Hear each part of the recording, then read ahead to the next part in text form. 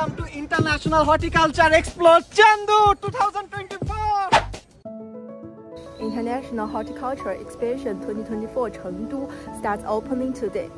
It is ready to welcome to the visitors around the world. Okay, I want to introduce a friend named Yi Chen.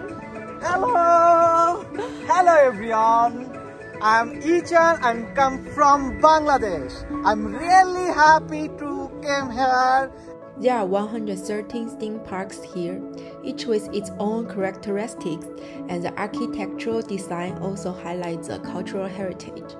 If you take this temple, I then you can see all Expo area and enjoy this green environment and blue sky and I'm really very glad um, uh, after came here I meet lot of countries friend and uh, I meet a lot of province uh, people and I, I am able to learn uh, Chinese culture, Chinese history. So it's a very uh, great opportunity for me uh, learn about more uh, China.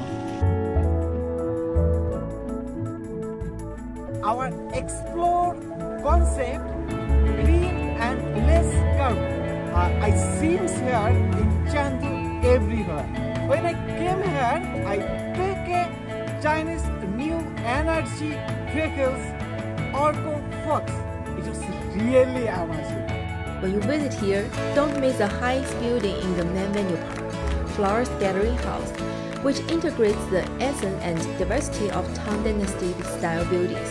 Using the language of architecture, show the cultural charm of Chengdu to the world. It's really good. I definitely recommend my all of my friends. Really, I'm damn sure you will enjoy it. You will get to chance to become very close to nature and you will enjoy so much. So everyone, welcome!